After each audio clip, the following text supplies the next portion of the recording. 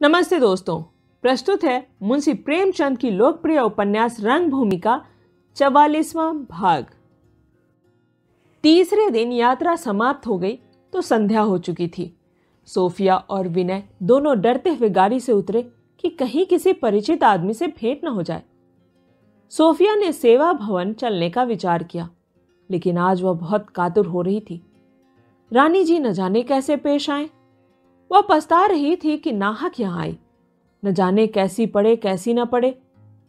अब उसे अपने ग्रामीण जीवन की याद आने लगी। कितनी शांति थी, कितना सरल जीवन था। न कोई विघ्न था, न बाधा, न किसी से द्वेष था, न मत्सर। विनय सिंह ने उसे तस्कीन देते हुए कहा, दिल मज़बूत रखना, जरा भी मत डरना। सच्ची घटनाएँ बयान करना, बिल्कुल सच्ची। तनिक भी अतिशयोक्ति ना हो जरा भी खुशामद ना हो।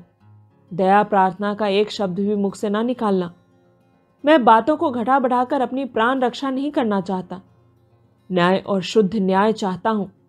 यदि वह तुमसे अशिष्टता का व्यवहार करे, कटु वचनों का प्रहार करने लगे तो तुम क्षण भर भी मत ठहरना। प्रातःकाल आकर मुझसे एक एक बात कहना। या यो कहो तो मैं तुम्हारे साथ चलूँ? सोफी उन्हें साथ लेकर चलने पर राज़ी न हुई। विनय तो पांडेपुर की तरफ़ चले, वह सेवा भवन की ओर चली। तांगे वाले ने कहा, मिस साहब, आप कहीं चली गई थी क्या? बहुत दिनों बाद दिखलाई दी? सोफी का कलेजा धक धक करने लगा। बोली, तुमने मुझे कब देखा? मैं तो इस शहर में पहली बार आई हूँ। तांगे वाले ने कहा, आप ही जैसी एक मिस साहब यहाँ सेवक साहब की बेटी भी थी। मैंने समझा आप ही होंगी। सोफिया मैं ईसाई नहीं हूँ। जब वह सेवा भवन के सामने पहुँची तो तांगे से उतर पड़ी। वह रानी जी से मिलने के पहले अपने आने की कानों कान भी खबर नहीं होने देना चाहती थी। हाथ में अपना बैग लिए हुए ड्योढ़ी पर गई और दरबान से बोली, जाकर रानी जी से कहो मिस सोफिया आपसे मिलना चाहती हैं। दरबार उसे पहचानता ही था। उठकर सलाम किया और बोला, हुजूर, भीतर चले इतला क्या करना है? बहुत दिनों बाद आपके दर्शन हुए। सोफिया, मैं बहुत अच्छी तरह खरी हूँ। तुम जाकर इतला तो दो। दरबान, सरकार, उनका मिजाज आप जानती ही। हैं बिगड़ जाएँगी कि उन्हें साथ क्यों न लाया? इतला क्यों देने आया? सोफिया, मेरी खातिर दो चार बातें सुन लेना। दरबान अंदर गया तो सोफिया का दिल इस तरह धड़क रहा था जैसे कोई पत्ता हिल रहा हो। मुख पर एक रंग आता था। एक रंग जाता था। धरका लगा हुआ था। कहीं रानी साहब गुस्से में भरी वहीं से बिगड़ती हुई ना आए। यह कहला दे, चली जा, नहीं मिलती। बिना एक बार उनसे मिले तो मैं ना जाऊँगी, चाहे वह हज़ार बार दुत्कारे। एक मिनट भी न गुजरने पाया था कि रानी जी एक शाल ओढ़े हुए द्वार पर आ गई और उसे टूट कर गले मिली जैसे माता ससुराल से आने वाली बेटी को गले लगा ले। उनकी आँखों से आंसुओं की वर्षा होने लगी। अवरुद्ध कंठ से बोली, तुम यहीं क्यों खड़ी हो बेटी? अंदर क्यों नहीं चली आई? मैं तो नित्य प्रति तुम्हारी बाट जोहती रहती थी। तुमसे मिलने को जी तरप तरप कर रह जाता था। मुझे आशा हो रही थी कि तुम आ रही हो, पर तुम आती न थी। कई बार यूँ ही स्टेशन तक गई कि शायद तुम्हें देख पाऊँ। ईश्वर से नित्य मनाती थी कि एक बार तुमसे मिला दे। चलो, भीतर चलो। मैंने तुम्हें जो दुर्वचन कहे थे, उन्हें भूल जाओ। फिर दरबान से बोली, यह बैग उठा ले, महरी से कह दे मिस सोफिया का पुराना कमरा साफ़ कर दे। बेटी, तुम्हारे कमरे की ओर ताकने की हिम्मत नहीं पड़ती। दिल भर भर आता है।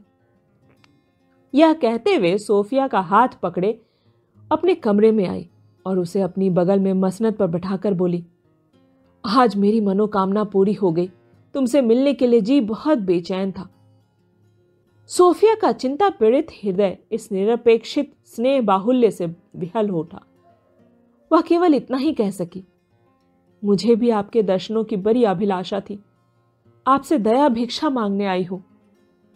रानी, बेटी, तुम देवी हो। मेरी बुद्धि पर पर्दा पड़ा था। मैंने तुम्हें पहचाना न था। मुझे मालूम है बेटी सब सुन चुकी हूँ। तुम्हारी आत्मा इतनी पवित्र है, यह मुझे न मालूम था। आह, अगर पहले ही से जानती यह कहते कहते रानी जी फूट फूट कर रोने लगी।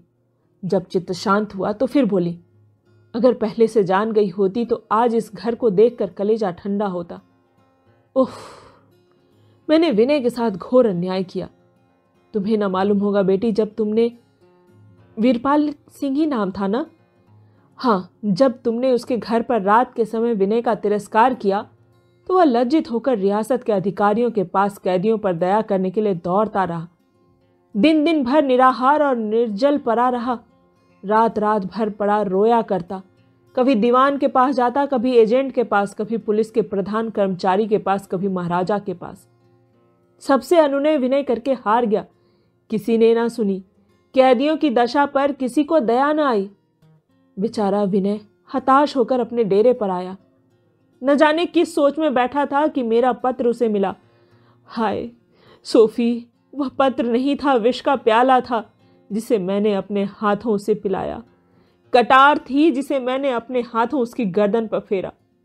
मैंने लिखा था, तुम इस योग्य नहीं हो कि मैं तुम्हें अपना पुत्र समझूं।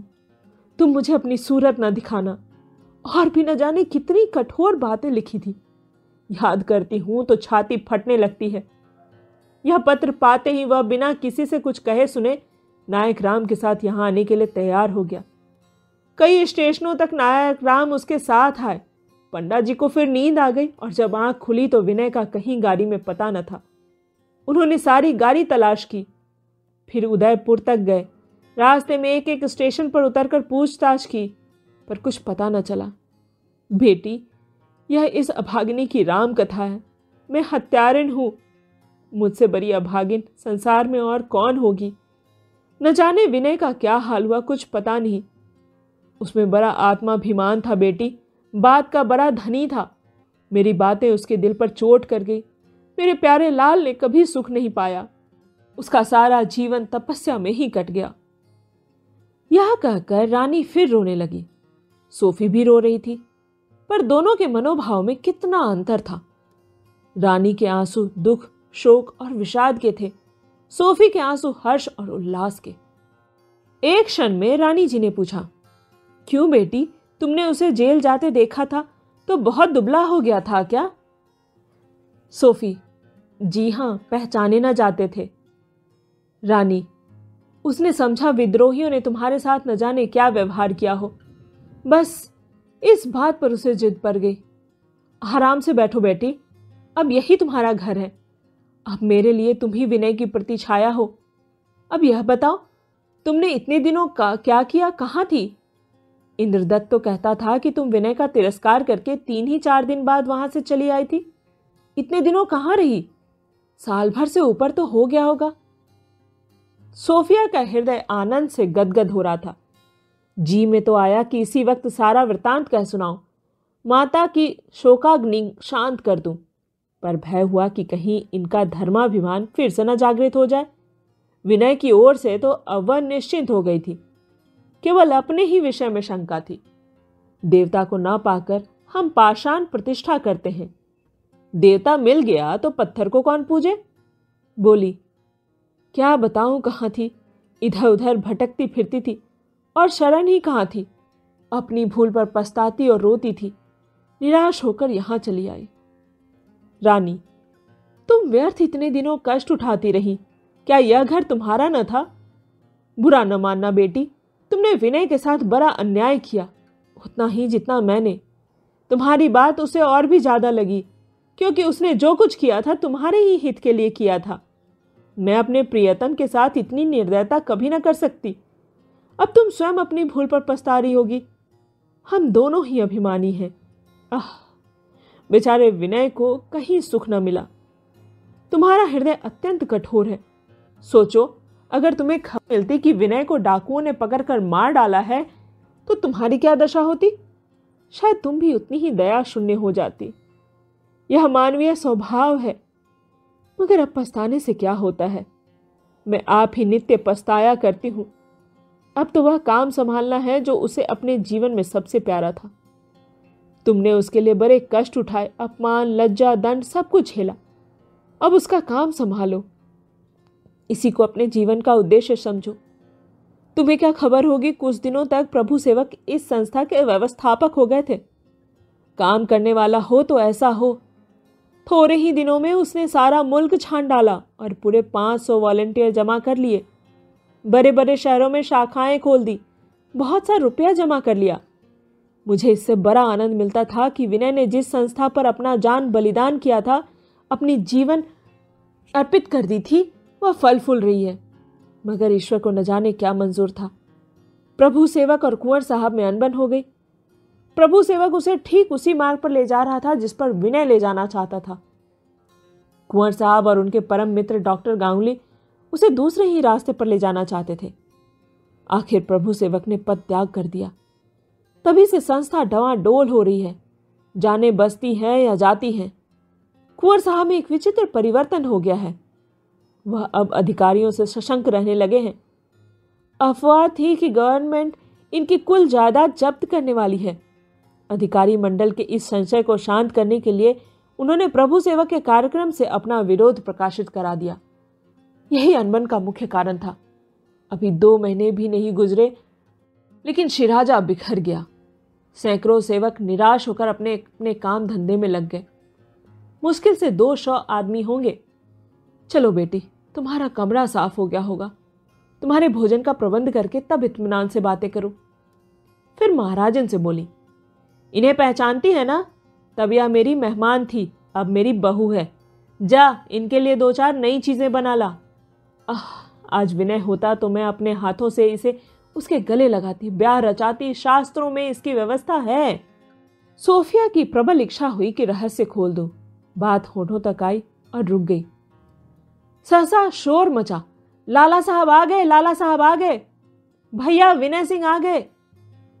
नौकर चाकर चारों ओर से दौड़े। लौंडिया महरिया काम छोड़ छोड़कर भागी। एक क्षण में विनय ने कमरे में कदम रखा।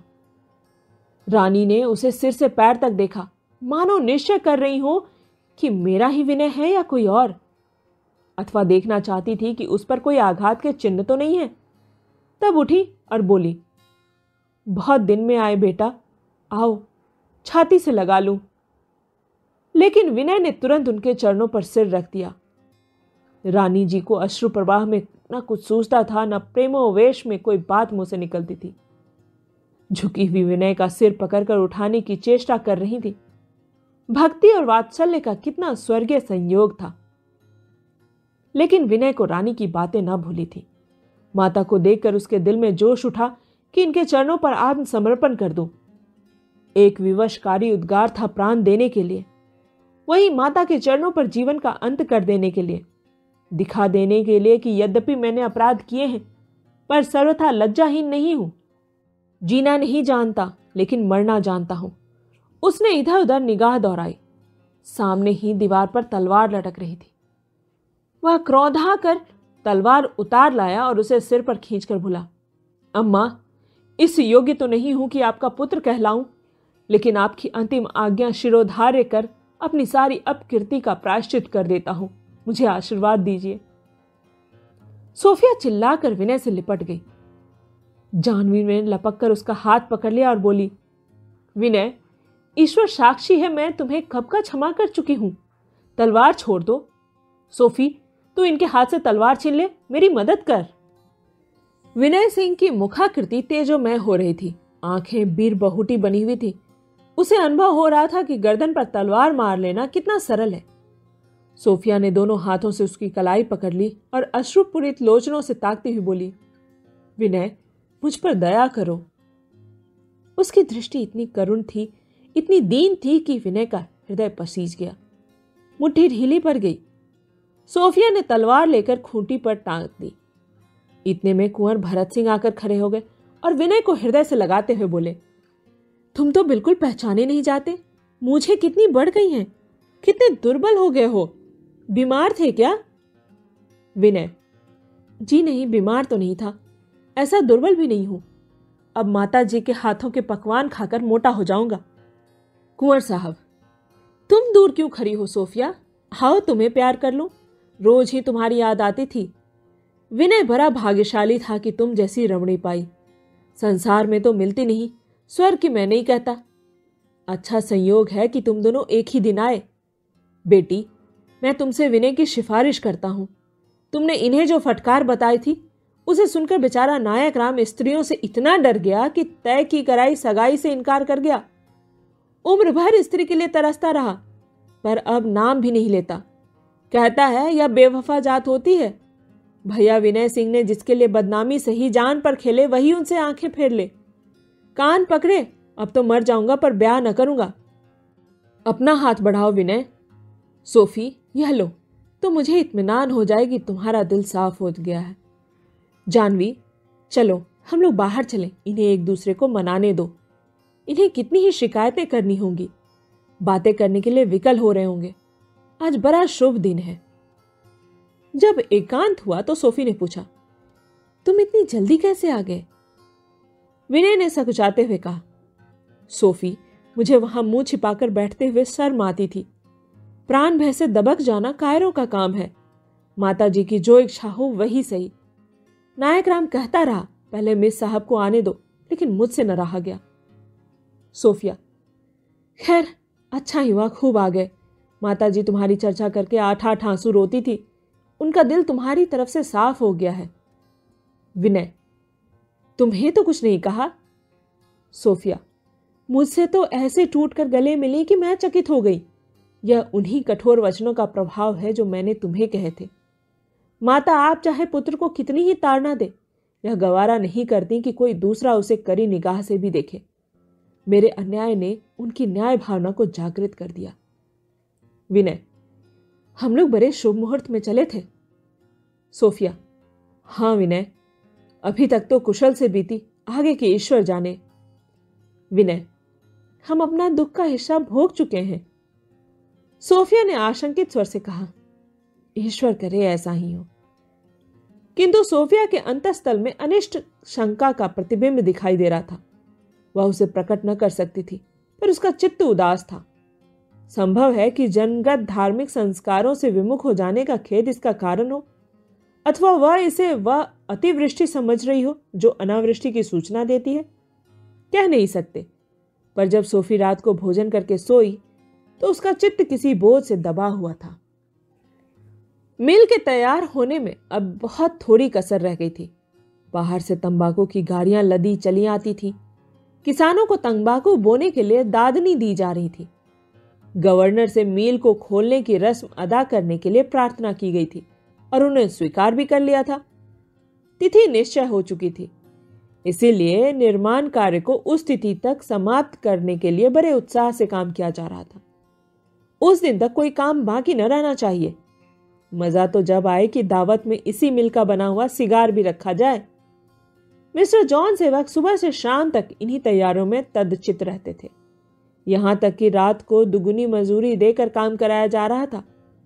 मिल के आसपास पक्के मकान बन चुके थे। सड़क के दोनों किनारों पर और निकट के खेतों में मजदूरों ने झोपड़ियाँ डाल ली थी। एक मील तक सड़क के दोनों ओर झोपड़ियों की श्रेणियाँ ही नज़र आती थी।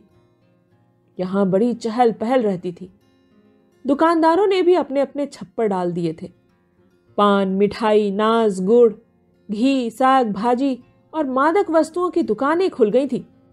मालूम होता था कोई पैट है। मिल के परदेसी मजदूर, जिन्हें ना बिरादरी का भय था, न संबंधियों का लिहाज दिन भर तो मिल में काम करते, रात को ताड़ी शराब पीते, जुआ नित्य होता था। ऐसे स्थानों पर कुलटाएँ भी आ पहुँचती हैं। यहाँ भी एक छोटा मोटा चकला आबाद हो गया था। पांडेपुर का पुराना बाज़ार सर्द होता जाता था। मिठुआ, घीसू, विद्याधर तीनों अक्सर इधर सैर करने आते और जुआ खेलते। घीसू तो दूध बेचने के बहाने आता, विद्याधर नौकरी खोजने के बहाने और मिठुआ केवल उन दोनों का साथ देने आया करता था। दस ग्यारह बजे रात तक वहाँ बड़ी बहार रहती थी। कोई चाट खा रहा है, कोई तंबोली की दुकान के सामने खड़ा है, कोई वैश्याओं से विनोद कर रहा है। अश्लील हास परिहास लज्जास्पद नेत्र कटाक्ष और कुवासनापूर्ण हाव भाव का अविरल प्रवाह होता जा रहा था। पांडेपुर में ये दिलचस्पियाँ कहा? लड़कों की हिम्मत न पड़ती थी कि ताड़ी की दुकान के सामने खड़े हों। कहीं घर का कोई आदमी देख न ले। युवकों की मजाल न थी कि किसी स्त्री को छेड़े, कहीं मेरे घर जाकर कह न दे। सभी एक दूसरे से संबंध रखते थे। यहाँ वे रुकावटें कहा? प्रत्येक प्राणी स्वच्छन था। उसे ना किसी का भय था, न संकोच कोई किसी पर हंसने वाला न था। तीनों ही युवकों को मना किया जाता था, वहाँ न जाया करो। जाओ भी तो अपना काम करके चले आया करो। किंतु जवानी दीवानी होती है। कौन किसी की सुनता है? और सबसे बुरी दशा बजरंगी की थी। घीसू नित्य रुपए आठ आने उड़ा लिया करता, पूछने पर बिगड़ कर कहता, क्या मैं चोर हूँ?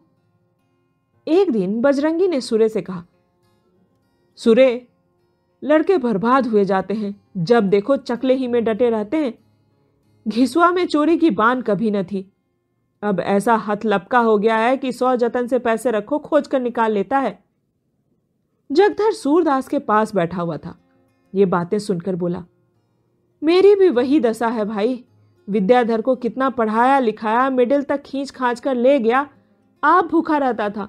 घर के लोग कपड़ों को तरसते थे, मगर उसके लिए किसी बात की कमी न थी। आशा थी चार पैसे कमाएगा, मेरा बुढ़ापा कट जाएगा, घर बार संभालेगा, बिरादरी में मर्जाद बढ़ाएगा। सो, अब रोज वहाँ जाकर जुआ खेलता है, मुझसे बहाना करता है कि वहाँ एक बाबू के पास काम सीखने जाता हूँ। सुनता हूँ, किसी औरत से उसकी आसनाई हो गई है। अभी पुतली घर के कई मजदूर उसे खोजते हुए मेरे घर आए थे। उसे पा जाए तो मारपीट करें, वे भी उसी औरत के आसना है। मैंने हाथ पैर पकड़ कर उनको विदा किया है। यह कारखाना क्या खुना? हमारी तबाही आ गई। फ़ायदा ज़रूर है चार पैसे की आमदनी है। पहले एक ही खोचा ना बिकता था, अब तीन तीन बिक जाते हैं। लेकिन ऐसा सोना किस काम का जिससे कान फटे? बजरंगी अजी जुआ ही खेलता है, तब तक गनीमत थी। हमारा घीसू तो आवारा हो गया है। देखते नहीं हो, सूरत कैसी बिगड़ गई है, कैसी देह निकल आई है? मुझे पूरी आशा थी कि अब दंगल मारेगा। अखारे का कोई पट्टा उसके ज़ोर का नहीं है। मगर जब से चकले की चाट पर गई है दिन दिन घुलता जाता है। दादा को तुमने देखा था ना? दस पाँच कोष के इर्द गिर्द कोई उनसे हाथ न मिला सकता था। चुटकी से सुपारी तोड़ देते थे। मैंने भी जवानी में कितने ही दंगल मारे। तुमने तो देखा ही था। उस पंजाबी को कैसा मारा था कि पाँच सौ रुपये इनाम पाए और अखबारों में दूर दूर तक नाम हो गया? कभी किसी माई के लाल ने मेरी पीठ में धूल नहीं लगाई? तो क्या बात थी? लंगोटे के सच्चे थे। मोछे निकल आई थी, तब तक किसी औरत का मुँह न देखा था। ब्याह हो गया, तब भी मेहनत कसरत की धुन में औरत का ध्यान ही न करते थे। उसी के बल पर अब भी दावा है कि दस पाँच का सामना हो जाए तो छक्के छुड़ा दूँ।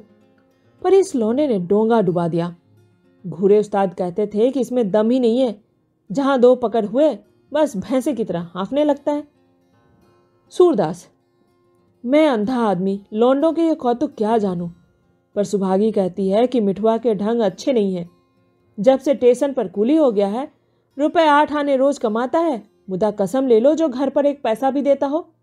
भोजन मेरे सिर करता है, जो कुछ पाता है नशे पानी में उड़ा देता है। जगधर, तुम भी झूठ मूठ लाज ढो रहे हो, निकाल क्यों नहीं देते घर से? अपने सिर पड़ेगी तो आते दाल का भाव मालूम होगा। अपना लड़का हो तो एक बात है, भाई भतीजे किसके होते हैं? सूरदास, पाला तो लड़के ही की तरह, दिल ही नहीं मानता।